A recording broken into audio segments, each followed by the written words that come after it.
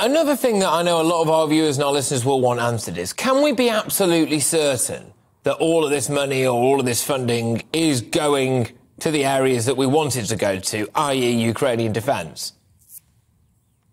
Well, that, that is always going to be a concern. And I think, you know, the, the people who are funneling uh, the weapons, which is primarily the Americans and us, um, will be making sure that they go to the right the right destinations. But you know, we, we heard last week that uh, reports that yeah, potentially some of these weapons have been captured by um, the Russians, and there was a report that the Russians had sent some British-made weapons, the NLAW anti-tank systems, to Iran. They basically sold them to Iran, so Iran can dismantle them and try and sort of replicate them, which is is is pretty worrying development. But you know, the the the people responsible for sending British weaponry and American weaponry and European weaponry to Ukraine will be aware of this. That you know there will be agents uh, in Ukraine trying to funnel these weapons off, and and one assumes that the measures are in place to make sure that doesn't happen.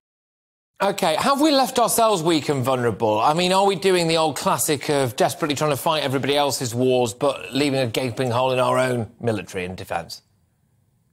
I think there is a risk of that. Um, one of the big concerns we've had in the British military in, in, in recent months is that our stockpiles of weaponry um, have really fallen during the last decade. Basically, we've had a lot of defence cuts. Uh, nobody thought we'd be involved in this kind of state on state conflict. Um, and so we've allowed our, our, stockpiles of missiles and rockets and shells to, to run down. So, you know, as a matter of urgency, we've got to build them up again.